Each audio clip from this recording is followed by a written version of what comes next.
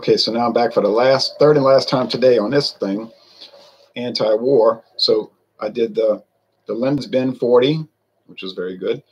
This is an alternate channel, my main channel, you know, my main channel. And then I did the um, Evan Williams eggnog, which was exceptionally good. And now this thing, the Rita's, Rita's Mang-O-Rita. Mango Rita. Oh my goodness. Mang-O-Rita. Sparkling margarita. Contains alcohol. 8% alcohol. Oh man. So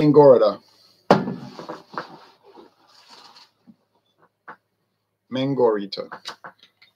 Twist cap bottle. Now, some people told me, I've never seen bottles. So all the tall cans. I said, we do get the bottles here. We get the bottles. We get the bottles.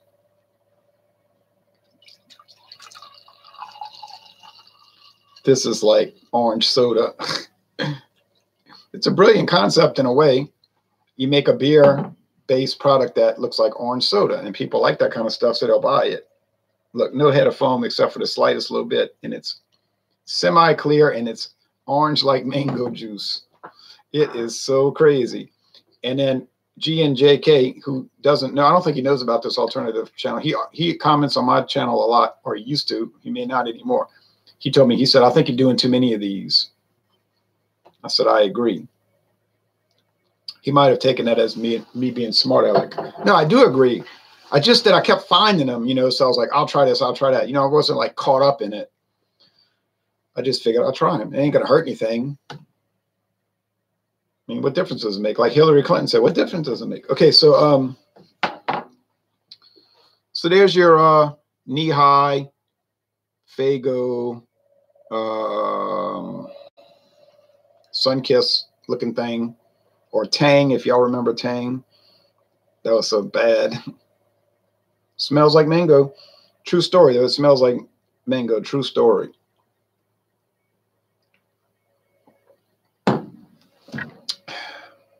It tastes like mango juice or like a, a mango pop or soda pop, like they say in Pennsylvania. Down here, people don't say those words. They really just say uh, a soft drink. Call it a soft drink. Hard drinks, beer, wine, and liquor, and then soft drinks but this ain't soft. Um,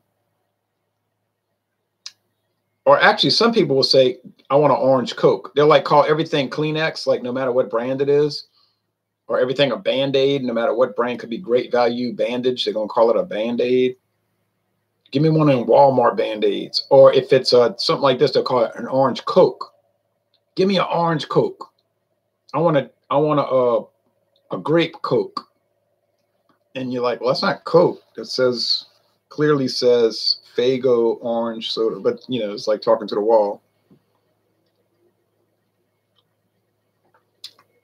It's like when things get entrenched in their mind, you can't shift it. And it's sort of like this anti-war concepts.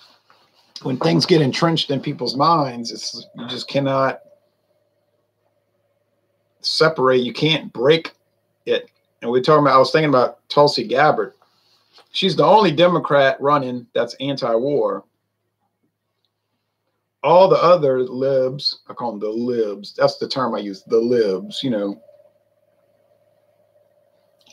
And then the, the I just don't feel like keeping, I just don't like, I don't feel like repeating myself saying liberal. That's three syllables. So I say libs, one syllable.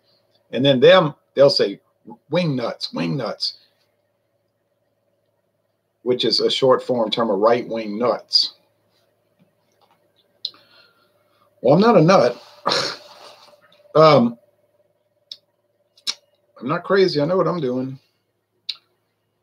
Um, so Gabbard, she's interesting. Now you had a lot of the real crazy.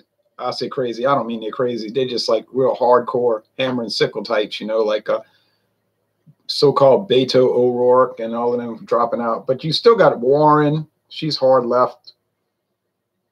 She'd have done very well in the people's uh, great proletarian cultural revolution. She'd have been purged later because she'd have been too left wing, you know. Like uh, all the extreme left wing revolutions got purged in 1976, 77, when the uh, more moderate communist totalitarian Deng Xiaoping took over in his faction. I mean, yeah, they supported ruthless communism, but they wanted it to be more like sensible. You know what I'm saying? Like, it doesn't help us. We can't build a communist paradise in China if we all starve to death. You know, so that was their id I, I, um, understanding of it. And then Gabbard is the only one that's pro, that's anti-war. And I think she's truly anti-war. She wants non-intervention and um, she's kind of like Lew Rockwell and uh, Ron Paul. She's kind of like a liberal version of Ron Paul. And people like Ronnie S were saying you should support her, and I said, let me check her out. I'm like Waltz and uh, The Godfather, check him out. But I can't. I wouldn't support her because she's got super left wing ideology when it comes to the the economy, economics. I mean, she's so far removed from free enterprise. It's a joke. It's laughable. I don't support candidates that are hostile to free enterprise. I'm sorry, I don't do it.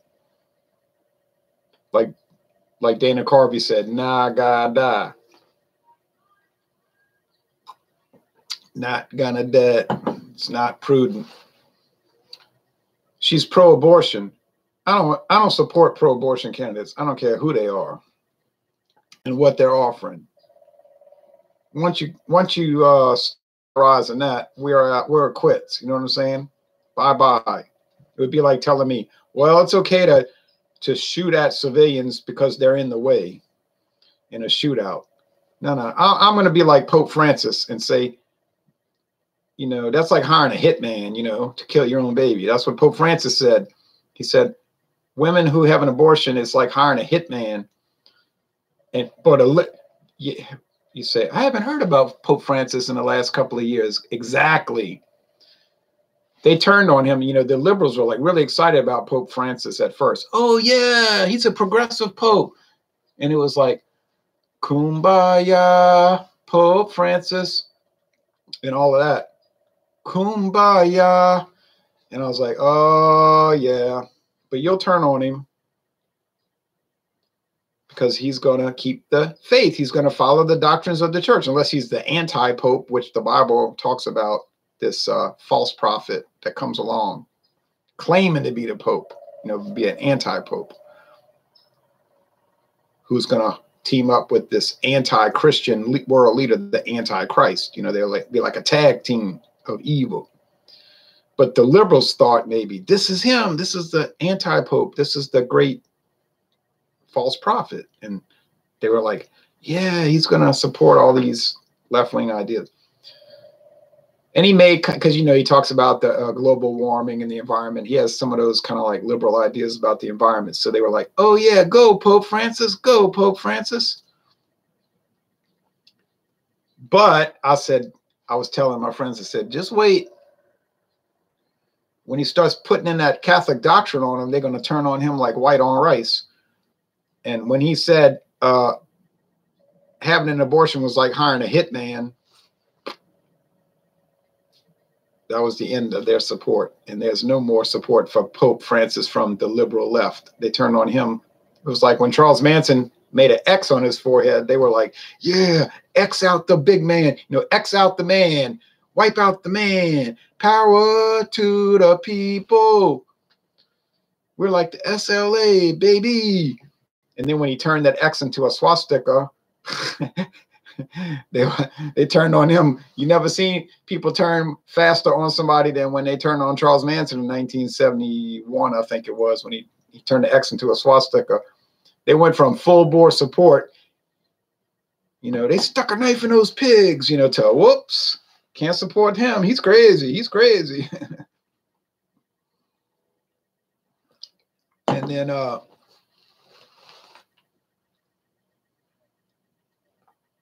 Pope Francis, they turn on him. So Gabbard, I wouldn't support her, you know. Yeah, she has good, uh, she should hire me as an advisor. I would try to give her some good um, doctrinal support and some good free enterprise support. I would help her out. I would say, Tulsi, look, Let me help you out, Tulsi Gabbard.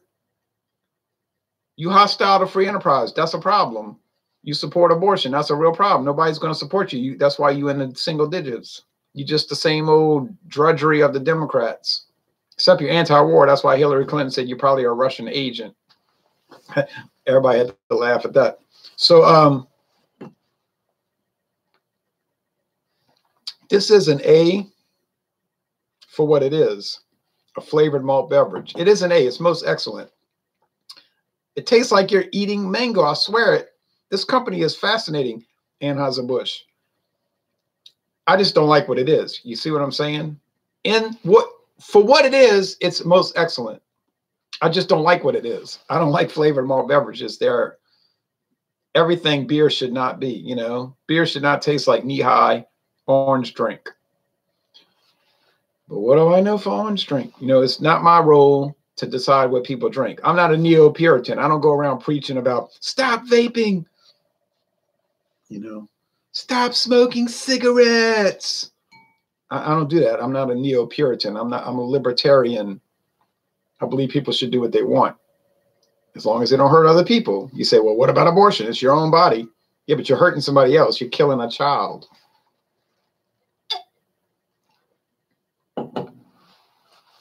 But I can always win that argument. I can always win that argument. That's that's like the easiest argument in the world to win. You don't even have to like play games with that. You can just destroy them on that argument. That's that's like basic. That's that's basic math. That's not even complicated. That's not even difficult. Now another thing she does is she uh she was like anti-gay marriage, homo, so-called homosexual marriage same-sex marriage. I don't know what what what term you're supposed to call it now. They changed the rules a lot. And now she's pro same-sex marriage. Well, uh, you know, uh, in a logical sense, that would be bad because you're supporting something that is quite obviously aberrant. I mean, a child could figure this out. You know, it's like go plug in. Uh, oh, I have a heater here, and I plug it into the wall. So all you got to do. Plug a heater in the wall. Put in the outlet, you got it. Anything else, you'd have to be a fool. A fool would have to believe that. And I'm not trying to be ugly or hurtful, but you really would. You say, well, the left supports it, but they don't believe it. They're not stupid. They don't believe that uh, putting uh, plugging in a cord into another cord is going to work. You know what I'm saying? Like you wouldn't take an electrical outlet I mean, an, an electrical, what do you call that? A, um, a plug and try to plug it into a plug. I mean, you're not going to take an outlet and put, put it in with an outlet. That's common sense. I mean, we're not dealing with children's. So you say it's all the same. No, it's not the same. It's not the same.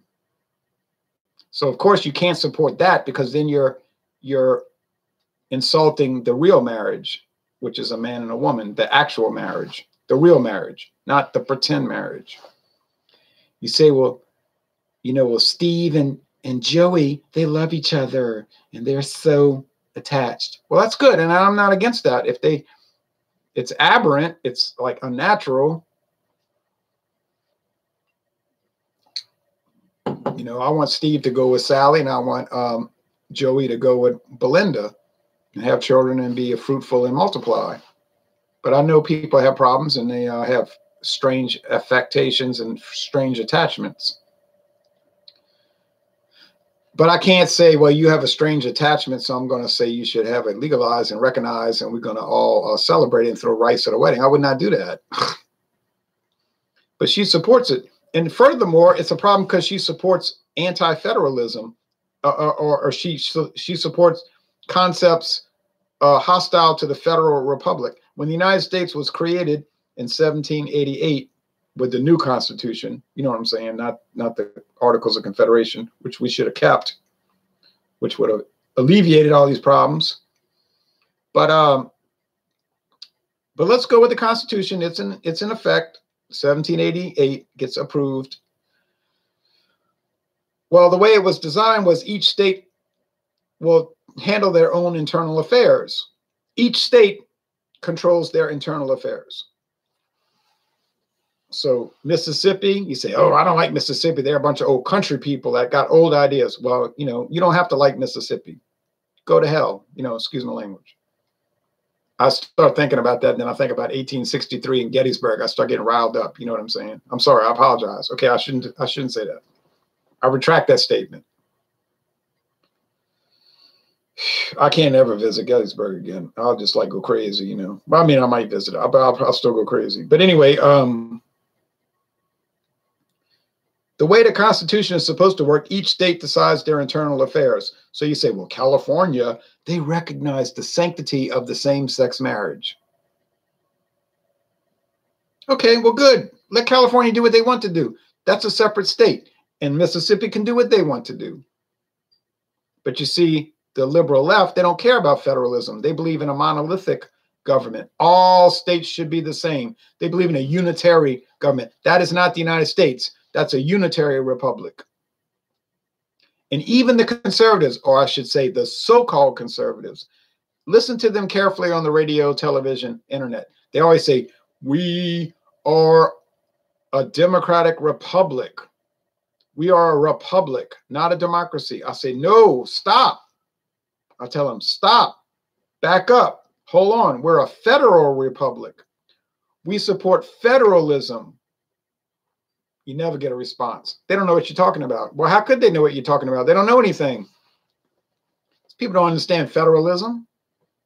You can't discuss federalism if you don't understand, excuse me, if you don't know what the concept is. You say, well, the Supreme Court ruled that Louisiana must recognize same sex marriage. Okay, so Louisiana recognizes it, but not really.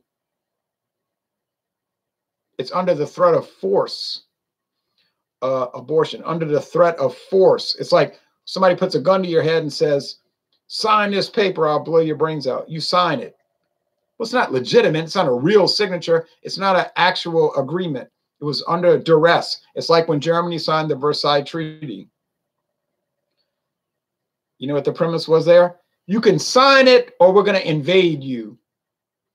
Now, the German government's attitude was okay, if we had enough power to resist you, we would tear the treaty up and throw it in your face. But we're not strong right now. So we'll sign it. Because you got a gun to our head. But the Germans said, but remember this. Remember this. Never let yourself be caught slipping. That's what you got to remember. Never get caught slipping. But we'll sign it because we did an analysis and we realized we cannot win at this particular time. But we'll sign it. But that's all we're going to say. In Louisiana, in Mississippi, in Alabama, and Georgia, and Florida, or maybe, well, maybe not Florida, but we're saying, okay, okay, and where does uh, all these rulings come from? The 40, the 14th Amendment. And you know, I've ranted and raved about the 14th Amendment about a million times. That's the problem. The nefarious 14th Amendment. And when I hear these conservative talk shows, they go on and on. You know, they never shut up like me. But the but they're wrong and I'm right. So the conservative talk shows talk about, oh, the Supreme Court, they're legislating from the bench. Oh, they're legislating. I say, well, it's the problem. The problem is the 14th Amendment. Oh, never hear a response. Well, they don't know what you're talking about. They're ignorant. So you've got to educate. 47 Street says it's not about marriage, it's about divide and conquer. Exactly. The tear down stage.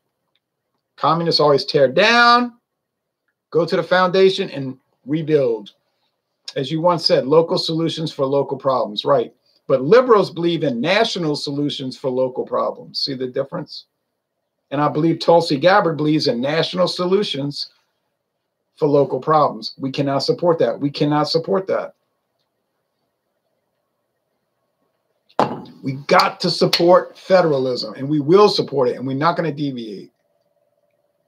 Anyway, I'm going to go start the, I'm going to go walk and then I'm going to go start cooking the lunch and then I got grass to mow. John Anile is doing uh I don't know why caught me off guard. He said he's going to do an imperial stout evaluation today.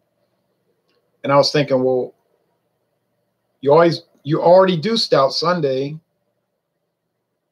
So why are you doing this special edition Imperial Stouts?